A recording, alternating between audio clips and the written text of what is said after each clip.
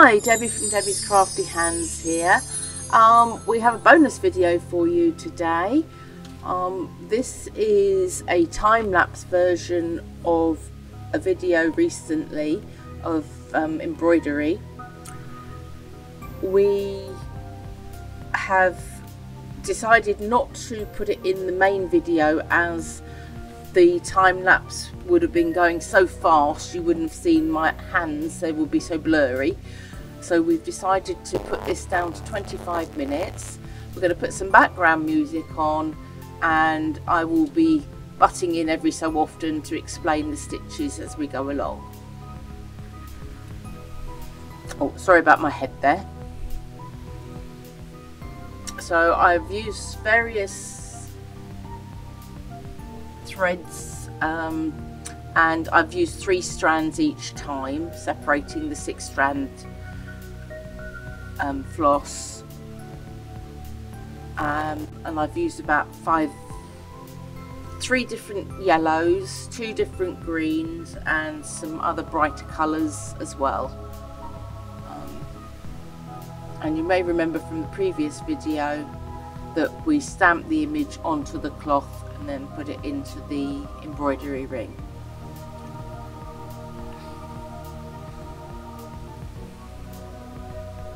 So I'm trying not to catch the fabric at the back as I'm going round because it's a bit flappy. Um, hindsight I maybe should have trimmed it round a bit but I wasn't sure what it was going to be put on so I didn't want to trim it too close to the embroidery itself.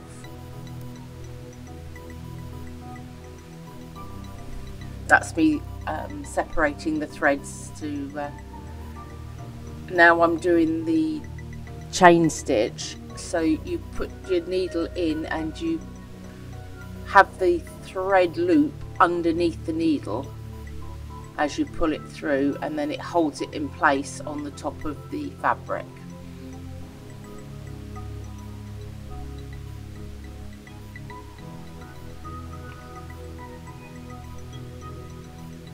and that's forming the stems of some of the flowers.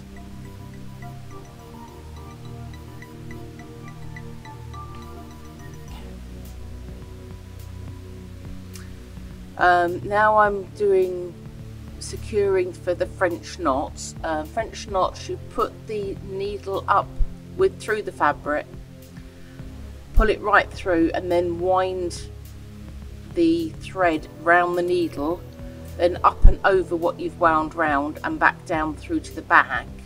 And that gives you little bobbly bits. Um, French knot I believe it's called. I can do the stitches but I can't always name them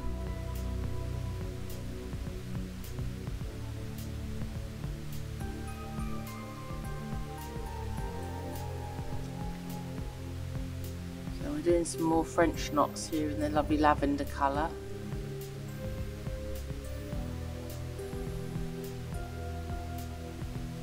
Not sure what we're doing in that bit there. Probably adjusting the microphone or the camera.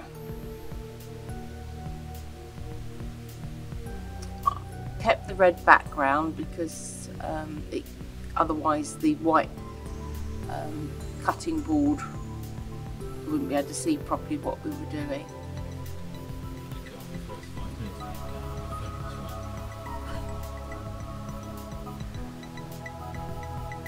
Oh, there's my head again. I'm trying to keep it in shot as much as I can, but sometimes when you're threading the needle, you need to get it a bit close to you.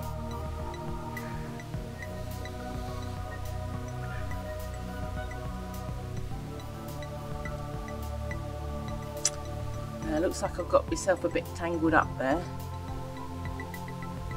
Unfortunately, where the embroidery floss is wound, um, round itself and you separate it out, it can sort of snag a little bit on occasions. So you have to be make sure that you pull it right through from the back. So otherwise you get loops at the back that um, where it's not been pulled through properly. Here I go threading the needle again. I must have done that about 50 times I think. The other thing is not to have your thread too long because again it can snag and I'm not doubling this up because it's only three threads at a time or it's three threads at a time so I don't need to double it up otherwise we might as well use the sixth thread um,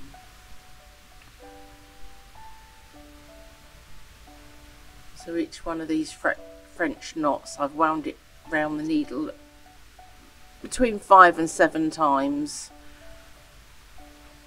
um, just to give different size little bobbles so that they weren't you know all sort of the, the same depth and uh, look. What we're doing now? Are still French knots. Okay start, light start as well.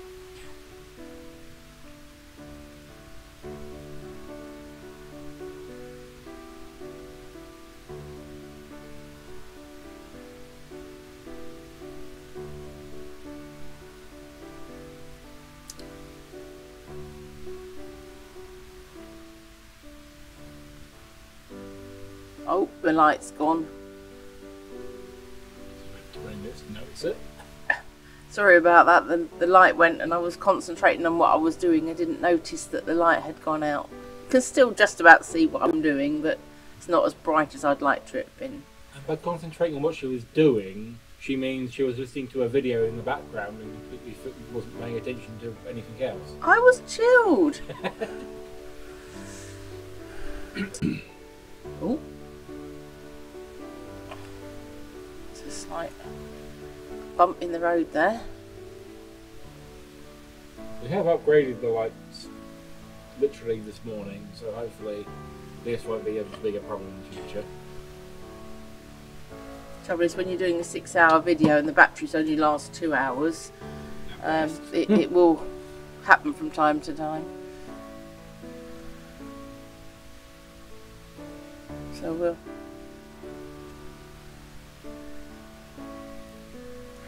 get around to changing it eventually, I believe.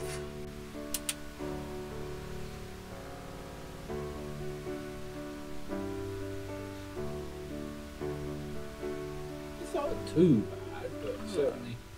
I'm working on the ribbon now, and that's just basic um, back stitch. So you do a stitch, and then you come back halfway through the previous stitch, and then do another stitch, um, and makes it nice blocky um, line.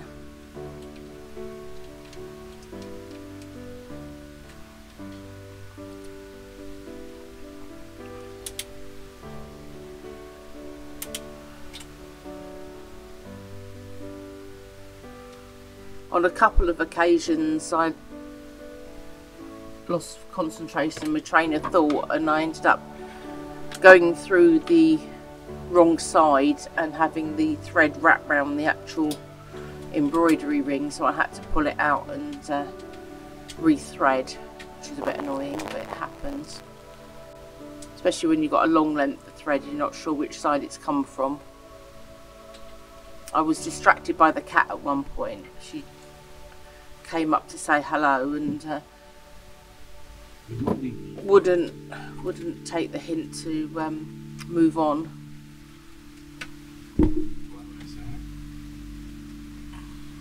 She's interested in watching the birds out in the garden, so she likes to sit on the desk so, so she can see the birds. I'm chewing on the cables as well. Yeah, she likes chewing on the cables, which is not so good. But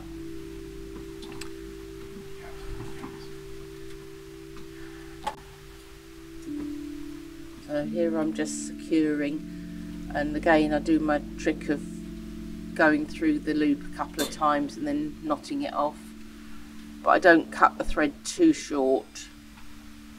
Um, and the next sort of embroidery will go over the top and hold the thread down some of the time which is quite handy. And as I didn't know whether this was going to be framed or put on a card or what I was the pur- the purpose of it was to enjoy doing the actual needlework, but the use of it um, still to be ascertained, shall we say. I'm not sure where it's going or who it's going to yet.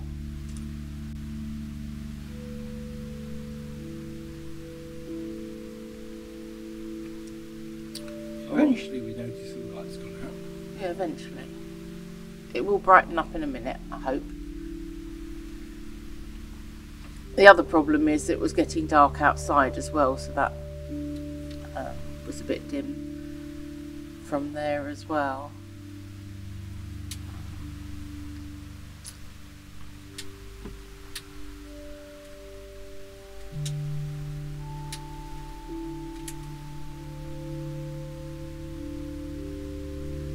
If anyone's interested in me making cards, not necessarily with embroidery, but with this particular stamp, I can stamp the image and colour it to a similar um, layout.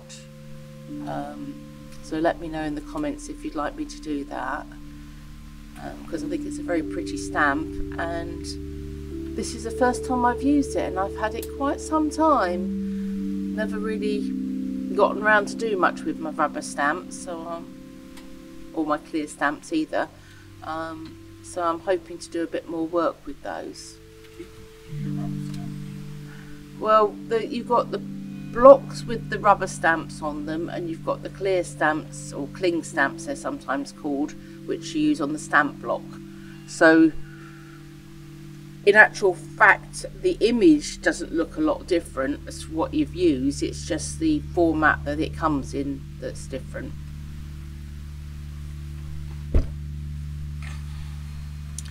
And the same is you can make your own foam stamps. So the image will, you know, depending on how you make your foam stamps, the image would be printed on the paper or fabric or whatever you're using. Just the same. It's just a, different mode of um, getting the ink on wherever you want it to be. Right, back to the embroidery. I think we're doing over stitching now, which is side by side stitching. Um, and I'm fanning it out a little bit to make the flowers look more pointed at the top. So you, you go from one central point and then work along the base to give it like a triangle effect and that's in the pretty little pink. Um, unfortunately, I didn't take note of the numbers of the fabric, so I can't tell you what the actual colours were. Um, I'm not very good at keeping records on things like that. To me, it's just pink, green, or whatever shade I, I like to use. I don't.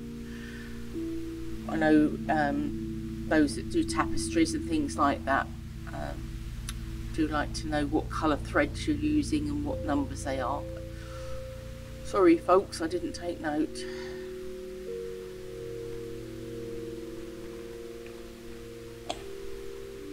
Right, now we're going up the stem. Um,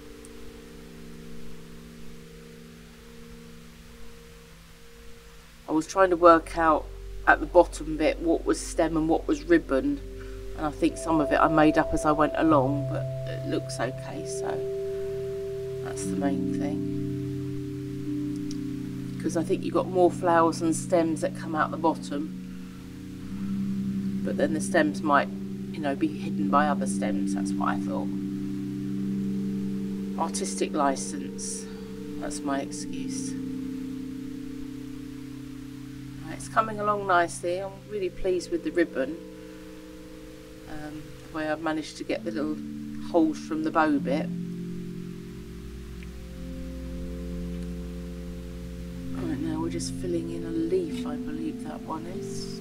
Oh no, yes, yeah, so it's a long thin leaf, so it's a daffodil leaf.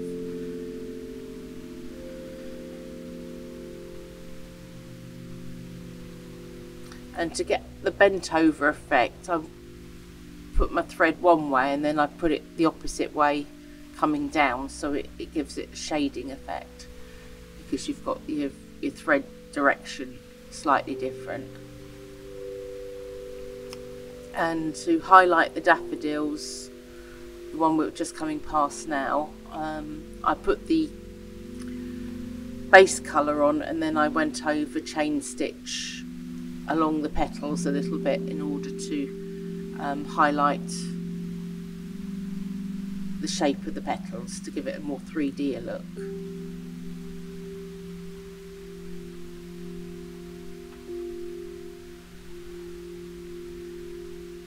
I wish I could sew that quickly in real life. That would be handy. I can get loads of stuff done that way.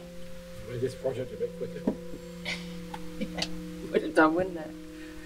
Yeah, Not actually in fast speed, she's just actually that fast. I wish. Right, I'm doing some more um, chain stitch here, so you can see a little bit easier, hopefully, that I'm bringing the needle up and pulling the loop behind where the needles come up, and then going down past the thread for the next stitch. It's difficult to describe um, when it's not such a close up, but um, now I'm finishing off again. Maybe I'll, um, well, a bit more practice, and I'll maybe do some stitch lessons once I've worked out what to do myself properly, and we can do a bit more close up. That's a, another future possibility. So you're saying about you wanting to go that fast normally?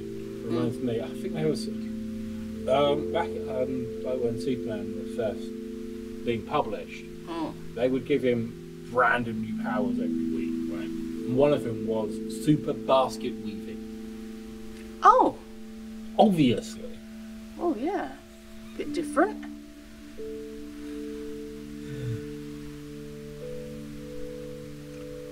What's something I haven't tried?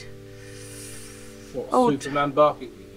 Well, basket weaving full stop, but um, I'd like to have the superpowers. Mm. Get a lot more done in the day, wouldn't you? Oh, maybe we could do some basket weaving for um, like plant pots when we. When we move. Um, maybe macrame. I've not tried macrame. Oh, what am I doing on my phone? Oh,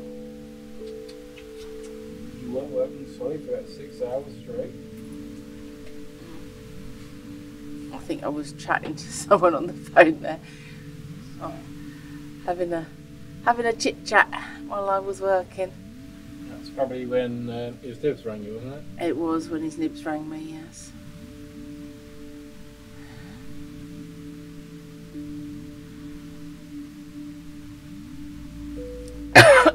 oh, excuse me. Oh, hope that didn't wake anybody up.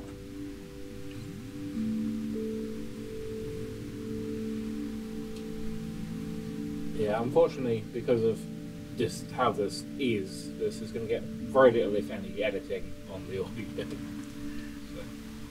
So, Did you phone out the screen, Deborah?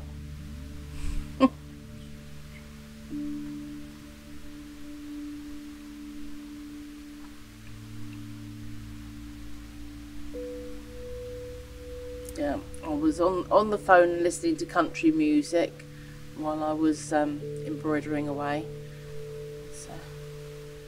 I knew this was going to be a time lapse piece, so it wasn't we wasn't worried about the audio on that. live stream on the 3rd of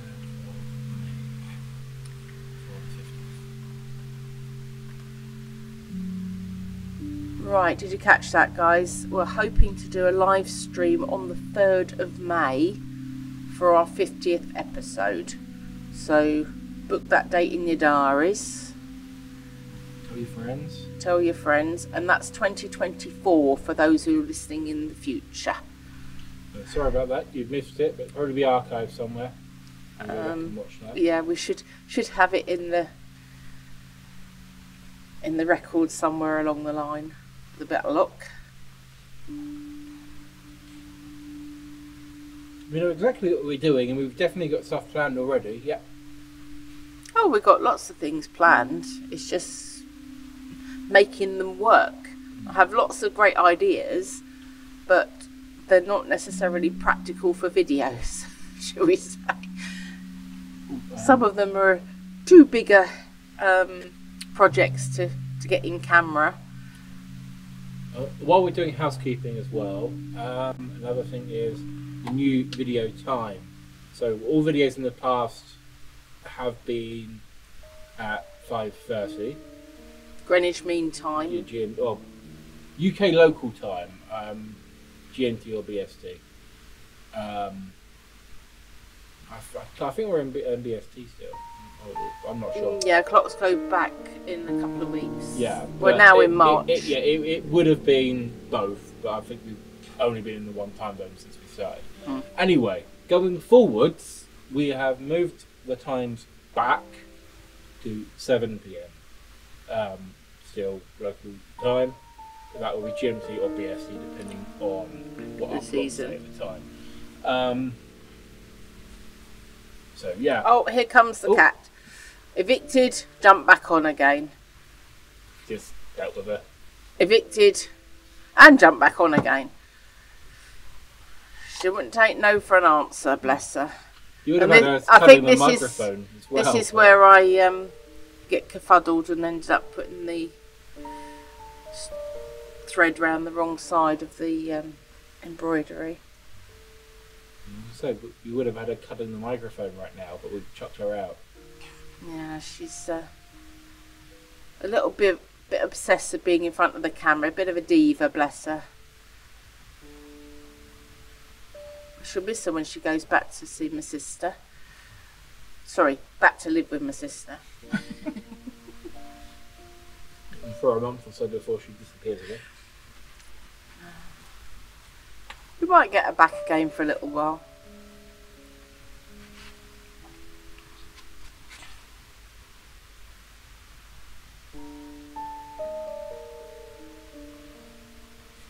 All separating the threads. I worked out an easier way of doing it by holding the, the threads that I've already untwisted apart and then twisting the thread that was needing to be untwisted with the other hand.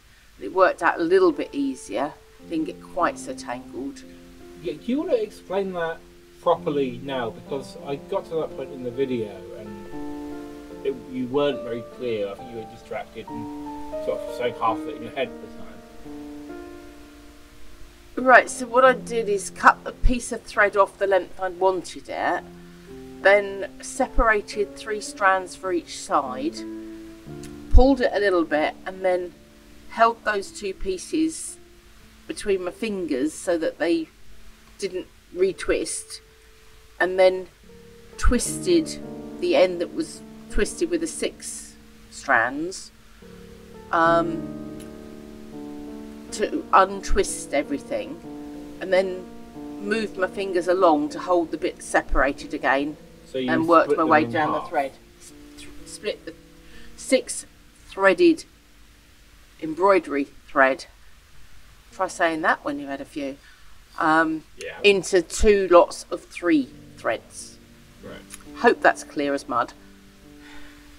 Oh, and I think we're coming up to the end. Uh, oh, now I've got a couple minutes. I can't read.